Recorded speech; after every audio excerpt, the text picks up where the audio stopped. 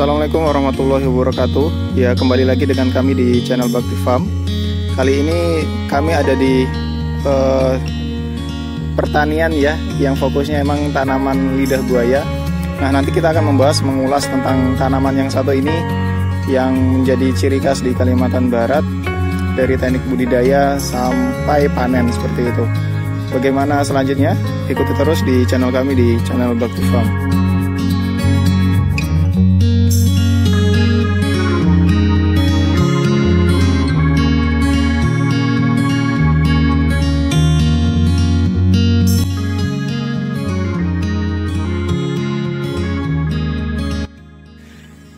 Ya kali ini kita bersama Pak D Ngatari ya. Selamat pagi Pak. Pagi. Pagi. Pak sudah berapa lama Pak jadi petani lidah buaya ini Pak? Mulai 96. 96 ya, 96. Jadi kurang lebih 25 tahun sudah di sini dan menanam lidah buaya. Ini alamannya di mana nih Pak? Jalan Kebangkitan Nasional. Jalan Kebangkitan Nasional ya. Jadi teman-teman uh, kalau kita dari arah jalan uh, Pak Selamat Dalam ya, Sungai Selamat. Eh, Sungai Selamat, nanti lurus saja, baru belok ke kanan, ya, belok kanan. ke kanan nanti kanan. nemu di sini seperti itu. Pak bisa diceritakan enggak Pak ini apa proses budidayanya dari uh, menanam bibitnya itu biasanya berapa lama sampai mereka itu siap dipanen tanaman ini? Ya kalau dari anaknya nyabut dari pokoknya itu sekitar satu tahun lah. Satu tahun ya menunggu. Setelah itu bisa dipanen secara berkala ya Pak ya? Iya. Itu biasanya panennya berapa kali Pak? Sebulan atau sebulan berapa kali? Nengok kebutuhan. Nengok, nengok kebutuhan ya? Nah. Biasanya dua kali mampu enggak sebulan itu?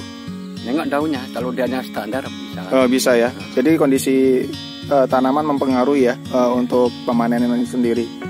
Untuk ini Pak, untuk pupuk dasar yang biasa digunakan untuk budidaya tanaman ini apa nih Pak? Ya terutama abu. Abu ya.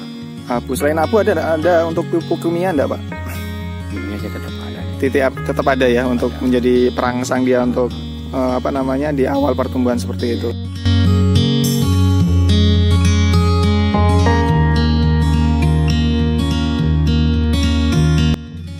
Masalah hama yang sering menyerang tanaman lidah buaya ini apa sebenarnya? Kalau lidah buaya itu nggak ada penyakitnya, penyakitnya cuma busuk. Cuman busuk aja ya. Nah itu bagaimana mengatasinya Pak? Ya dibuang, kalau bisa ditanam yang busuk. Oh gitu, agar tidak menular ya tidak gitu menular. ya Pak? Oh, selama ini belum ada obatnya Pak kalau belum dari ada. belum ada ya? Belum ada. Oh jadi seperti itu. Jadi ya cara satu-satunya dibuang di jauh lah pokoknya nah. ataupun ditanam ya modelnya di dalam tanah. Ya kalau tempat ditanam lah. Ditanam ya Pak ya.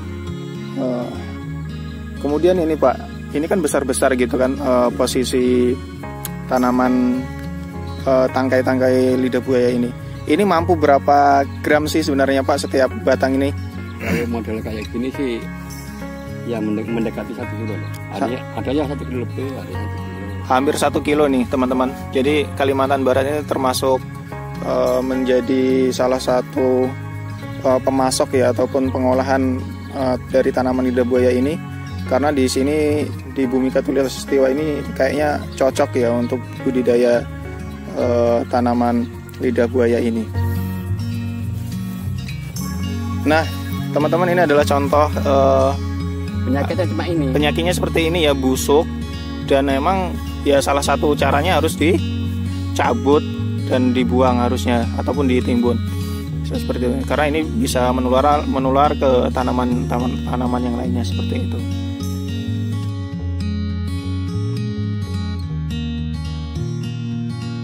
ini Pak saya mau nanya ini Pak masalah uh, usia tanaman ini berapa maksimalnya dan perlu regenerasi lagi enggak atau cuma sekali nanam atau seperti apa Pak? Bisa dijelaskan?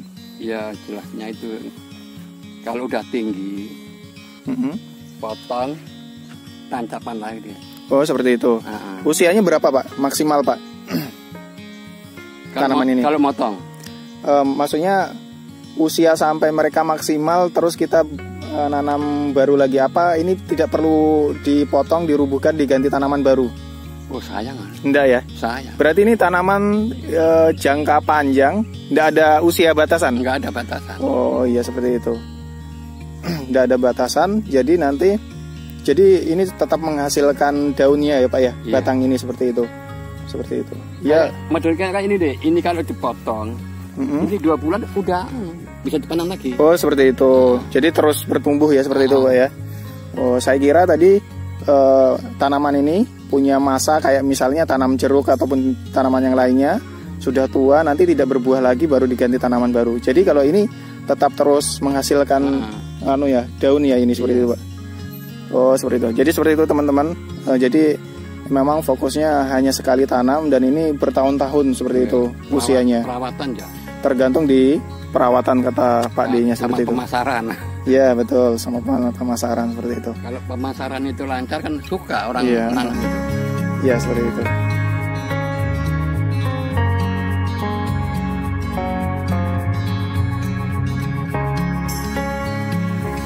Hampir satu tangan besarnya itu susah ya pak ya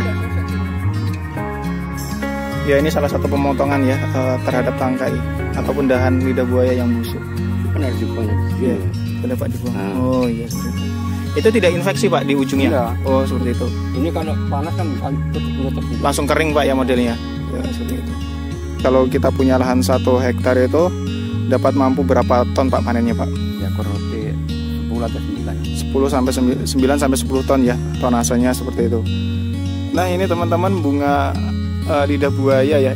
Ternyata ada bunganya juga. Ini yang biasa diolah menjadi teh ya, teh lidah buaya ya Pak ya seperti itu ya. Eh, jadi kata Pak Pak D-nya yang salah satu petani di sini ini salah satu ya bunga yang bisa digunakan menjadi teh dan mempunyai beberapa manfaat seperti itu. Ini Pak ada apa ya harapan ataupun permintaan ya terutama dari Bapak sendiri selaku petani lidah buaya terhadap ya pemerintah pemerintah yang terkait lah. Ya harusnya ada bantuan abu kayak Ya seperti itu. pupuk, Ya jadi membutuhkan bantuan ya Pak ya terutama di pupuk ya. abu Heeh. Pemasaran mungkin juga boleh dibantu mungkin Pak ya. Ya memang kalau pemasaran ada sih nyaman lah Heeh, Ini jadi agak lemah Agak sekarang. lemah ya sekarang ya kondisinya. Ya karena ini kondisinya juga merata ya Pak ya. Eh, di seluruh aspek ekonomi ya sedang melemah semua. Mudah-mudahan ya cepat pulih ya untuk perdagangan kita terutama di bidang eh, pertanian ini. nah, kayak ini lebih bagus ini Oh iya gitu ya. Belum gitu. Kayak dodo sawit, eh, pelepas sawit. Tapi ini harus pelan-pelan.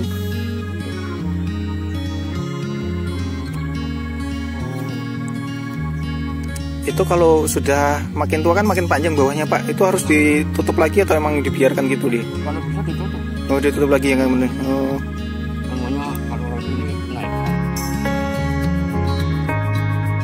Demikian liputan kami ya tentang eh, tanaman lidah buaya ini.